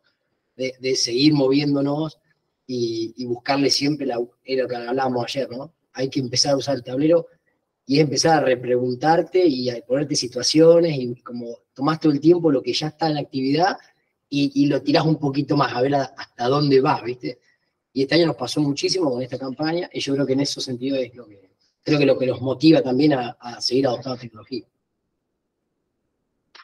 Sí, no, yo creo que uno termina manejando un volumen de, datos, de información muy grande, entonces tener una plataforma como Campo 360, el respaldo atrás de Gemagro, te ayuda a, focalizar un poco mejor las cosas. Y, bueno, eso después cuando, cuando vas con, con, la cabeza focalizada, también surgen nuevas ideas. O vos terminás procesando lo que tienes enfrente con otra visual. Y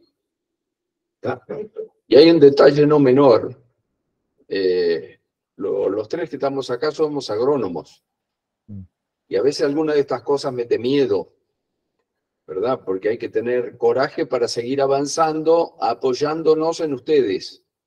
Entonces, uno tira la idea, cuando surgió esta idea, que ya hace un año y pico que yo vengo con esto, eh, parecía que era un imposible. Y a ver, tal vez los que nos están escuchando están pensando que tenemos un cohete a la luna.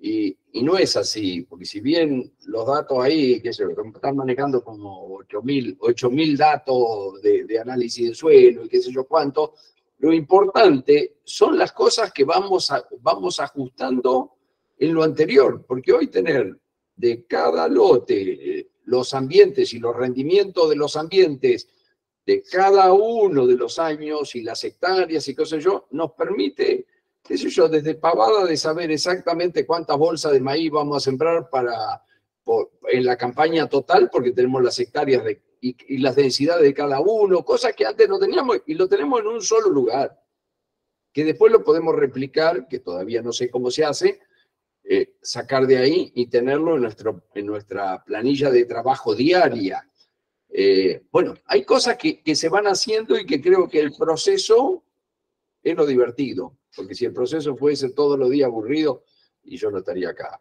tendría a casa, hacer otra cosa porque me aburro. ¿eh? Bueno. Sí, buenísimo. Les digo, última, me olvidé de nombrar a todo el equipo, mm. yo digo el equipo directivo, pero nuestro personal, Ustedes, los que estuvieron al principio, vieron que la fertilizadora se estacionó en la puerta, porque va a sembrar voleo al centeno, eh, va a sembrar centeno al voleo y vino a buscar la prescripción. ¿eh? El tipo no se imaginó que iba a ir al campo a hacer una dosis fija del centeno, pero como dicen que algún día nos va a llover, y parece que esta semana, bueno, vamos a arriesgar de hacer centeno al voleo. Bueno. Bien. Sí, buenísimo, impecable. Muchas gracias. No sé si Tommy querés hacer un cierre de este, este módulo. No, para no robar mucho tiempo, solo dos palabras, que qué bueno escucharlos y que es muy interesante que llevamos una hora y media, que ya tenemos que cerrar y que no vimos ni un mapa. Así que me parece muy, muy valioso y, y, bueno, eh, nos, nos deja pensando que no hayamos visto ni un mapa. Adelante. Bueno, buenísimo, Vic. Yo no lo quiero extender mucho. Iba a mostrar un cachito el tablero, pero si querés le metemos, como vos quieras. Bueno, en realidad estamos, estamos muy en el límite del tiempo, pero en realidad me parece súper rico. De última, no hacemos la encuesta y, mostramos el tablero. Dale. parece. Dale. Dale, que sea para, para, verlo en funcionamiento nomás. Uy, Dios. Bueno. La idea acá no es mostrarles ni ponernos a analizar datos, sino que vean un poquito de qué se trata.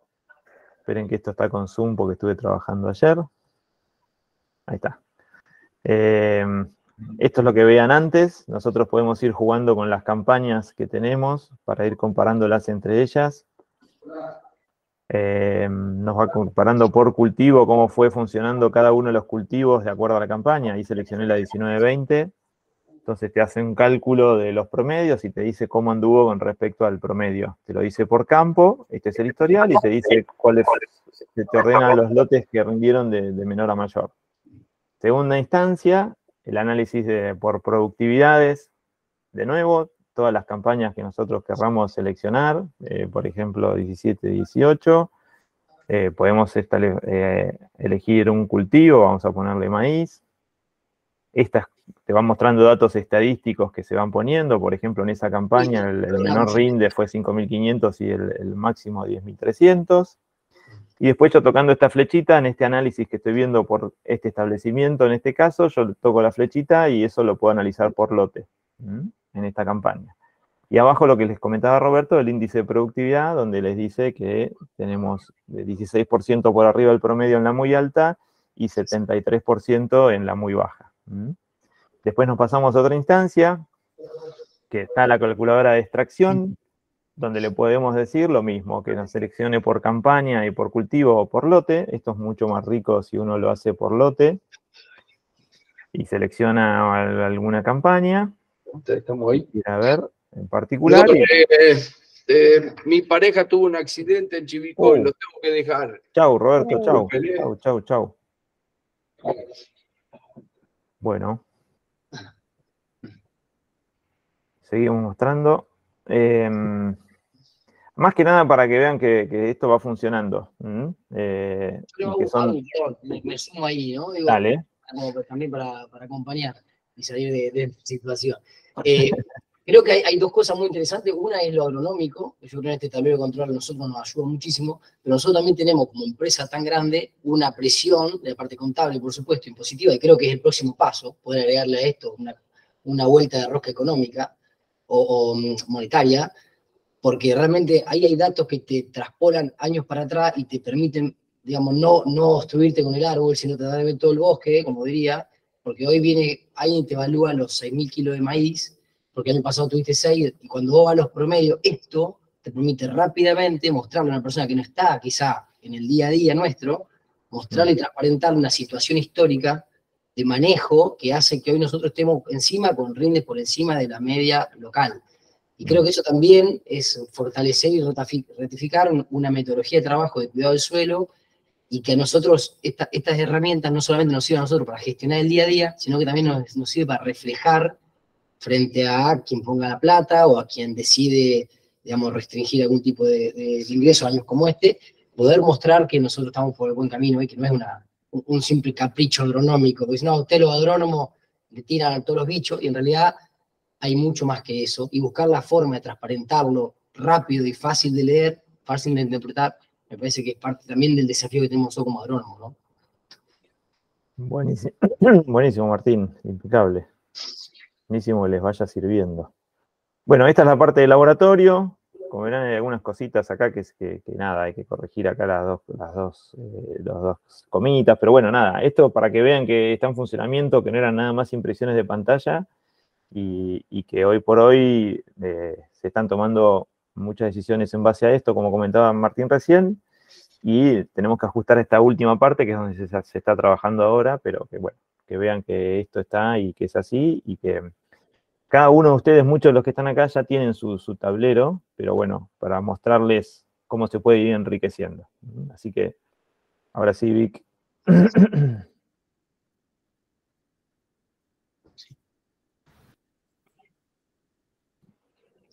te dejo la última parte.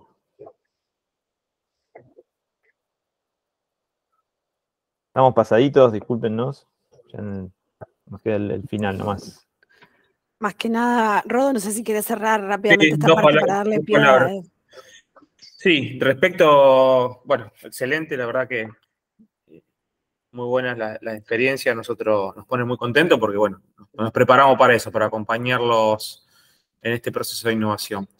Ahí para mostrar simplemente un camino que nosotros proponemos, que empieza con la digitalización y la trazabilidad, que básicamente es el cuidado del dato, todo lo que estuvimos charlando, de, construir ese dato de calidad es fundamental y es la base, la piedra angular para llevar adelante la optimización del proceso que planteamos arriba, como un camino, el monitoreo satelital, la auditoría de labores, la agricultura de precisión que estuvimos charlando, análisis de información, lo que vimos que el valor de tener el dato y los análisis que van a surgiendo, como ejemplos, pero estamos completamente seguros que esto va a alimentar la creatividad de ustedes como equipos en las reuniones y bueno, iremos generando eh, nuevas nuevas eh, aplicaciones. Se nos viene la certificación también basada en los datos, en las buenas prácticas y seguramente eh, todo está, a ver, primero, cultura, herramientas, hábitos, todo esto que vamos generando como organización es un gran activo para, para poder incorporar nuevas mejoras, nuevas tecnologías que la verdad que nos van a sorprender día a día.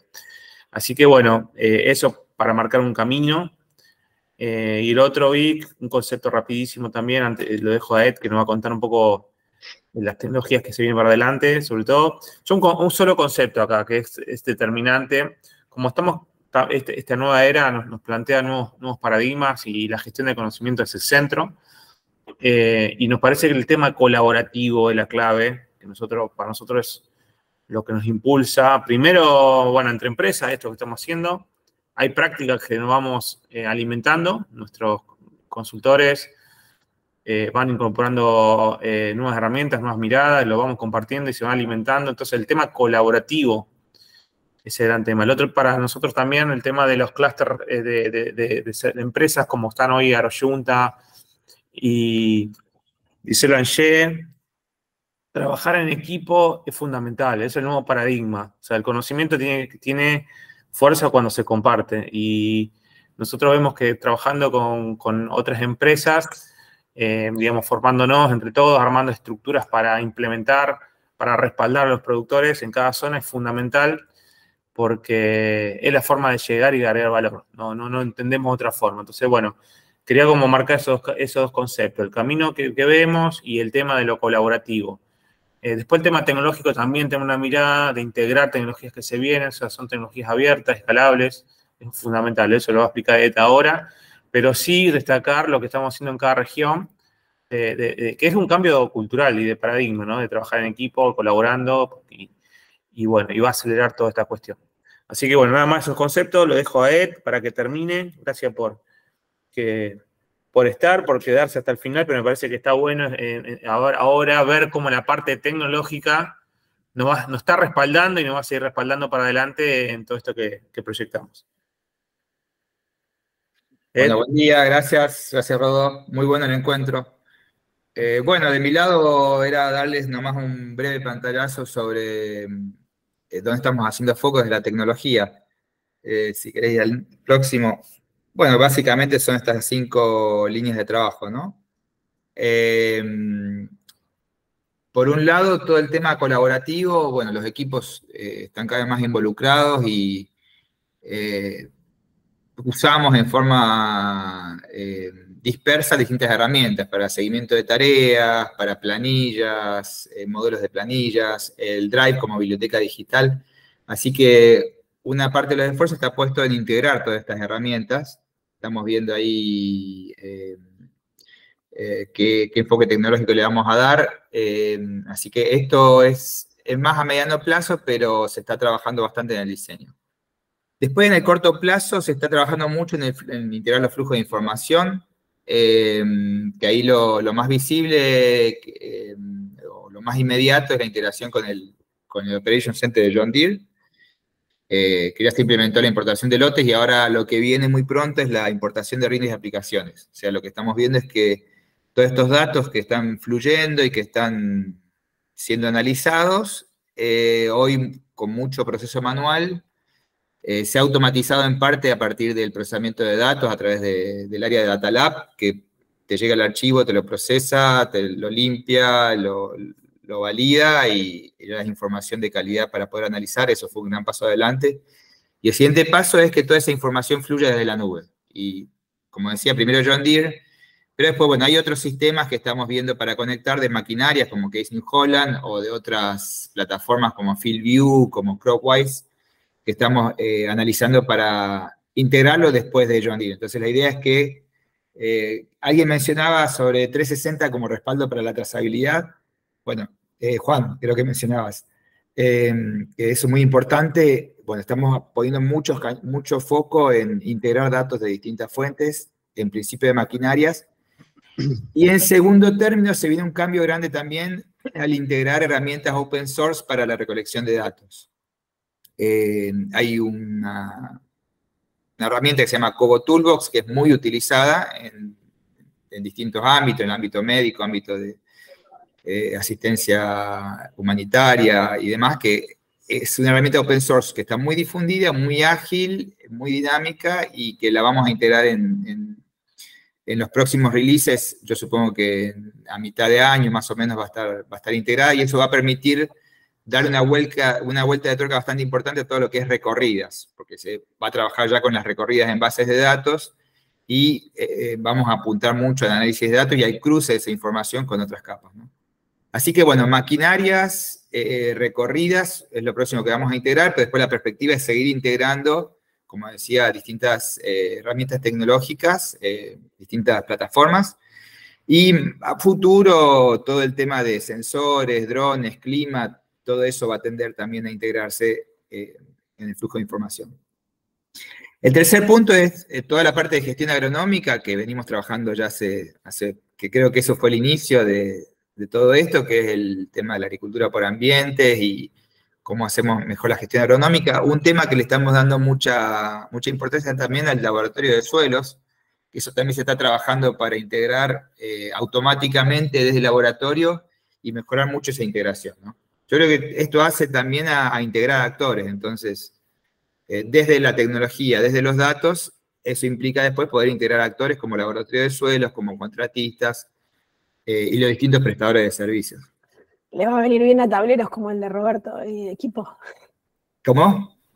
Que le va a venir bien a tableros. De ah, sí, sí, sí, totalmente, totalmente. Porque también el laboratorio de suelo va a estar integrado ya sea como muestreo intensivo, que es los menos por el costo que tiene por ahora, o como validación de la evolución de los lotes y de los ambientes, ¿no? Eh, que creo que se, se va a ir metiendo cada vez más como hábito. Así que estamos apuntando a eso a full. Bueno, el cuarto es el tema de análisis, que bueno, ya no tengo que agregar nada con los análisis que han mostrado. Eh, lo que estamos apuntando es que esos análisis sean más automáticos. Entonces, estamos digamos, preparando el sistema para que toda esa recopilación de información que hoy se realiza en forma semiautomática, porque los reportes son automáticos, pero después tenés que recopilar la información, esté ya integrado por establecimiento o por espacio de trabajo o por área de trabajo. Eh, y por último, el tema de, bueno, creo que Rodo lo mencionaba al principio, el open source y, las empresas eh, grandes de tecnología como Microsoft, como Meta, que es Facebook, eh, se están metiendo con mucha fuerza y están metiéndose también por el lado del open source, que me parece que es muy inteligente para que se difunda rápidamente, y del lado de la sustentabilidad. Entonces ya hay aplicaciones que ya la estamos evaluando, para integrarlas y, bueno, lo que decía también Juan, el tema de certificar. Eh, por ejemplo, Microsoft ya tiene una herramienta open source que eh, calcula huella de carbono o que te permite hacer escenarios em, em, de acuerdo a que distintas prácticas generan distinto impacto en cuanto a los, gases de eh, los GHG, ¿no? los greenhouse, greenhouse gases, los gases de efecto invernadero.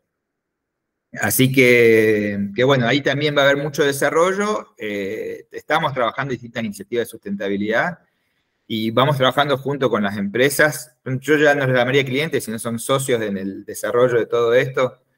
Que, bueno, yo creo que lo primero va a ser trazabilidad y ahí, bueno, vamos a estar un poquito sujetos a la demanda, o sea, hablando con las distintas empresas que están teniendo requerimientos de trazabilidad, bueno, ¿qué implica la trazabilidad? O sea, ¿cuál es el reporte que a mí me permite mostrar mi trazabilidad y después qué tipo de certificación? Yo creo que vamos a ir hablando cada vez más en detalle y vamos a ir adecuando el sistema a esos requerimientos. Así que bueno, hay muchísimo más. Esto es una, síntesis muy apretada por el tiempo.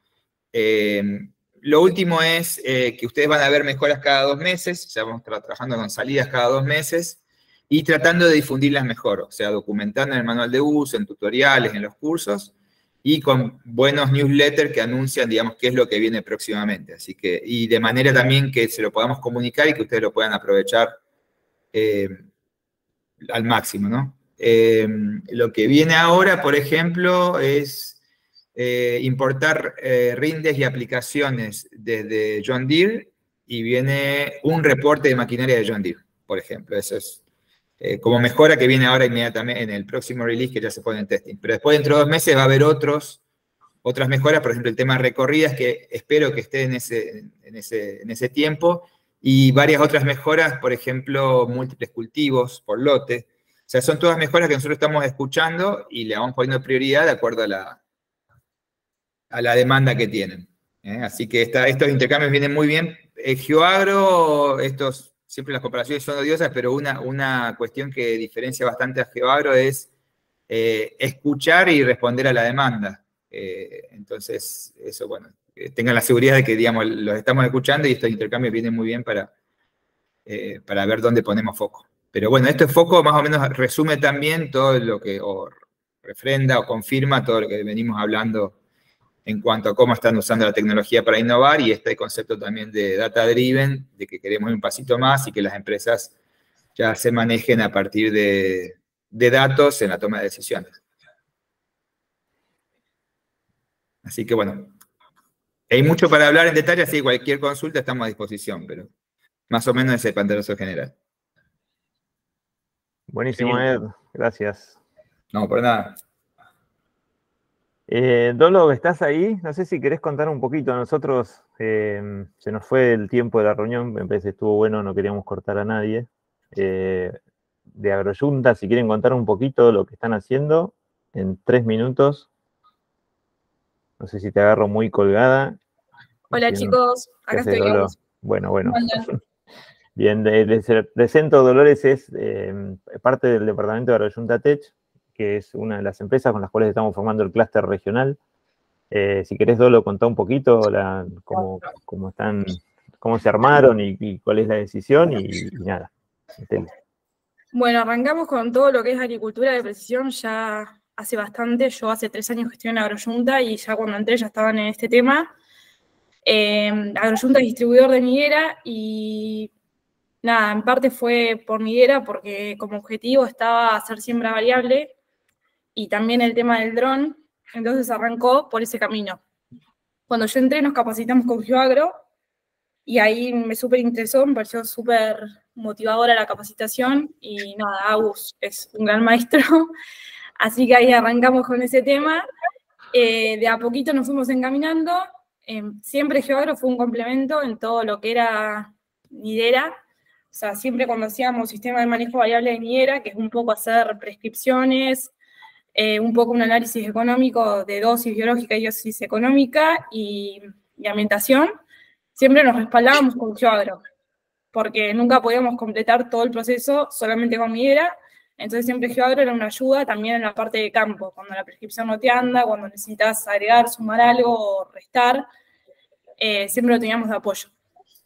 Y a partir del año pasado también se sumó a nuestros objetivos como empresa Cropwise, la plataforma de Singenta, ya que también somos distribuidores de Singenta. Y el año pasado es que se forma Junta Tech, con la idea de brindarle un servicio al productor. Eh, entonces estamos encaminados en eso, eh, con el apoyo de, GeoAgro eh, y también implementando Crowdwise y siguiendo de la mano de Nidera. estamos en ese camino viendo qué servicios podemos brindarle al productor convirtiéndonos en una empresa que venda, servicios y no solamente que venda insumos.